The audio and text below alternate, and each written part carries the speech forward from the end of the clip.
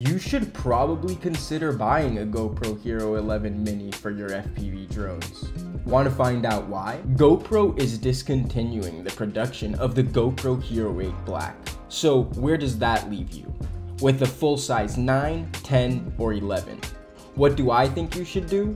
I think you should buy the GoPro Hero 11 Mini if you're in the market for a new HD camera. Guys, I've been using the GoPro Hero 11 Black Mini for about two weeks now, and I couldn't be happier with it. Going from a Hero 9 to this way smaller camera has just worked wonders on my actual flying.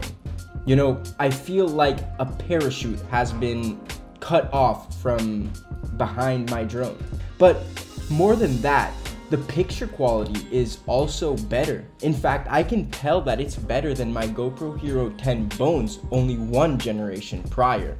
On top of this, with a GoPro subscription, the Hero 11 Mini can be picked up at a wonderful price of $299.99. I feel like the debate then becomes the DJI Action 2 versus this GoPro Hero 11 Mini.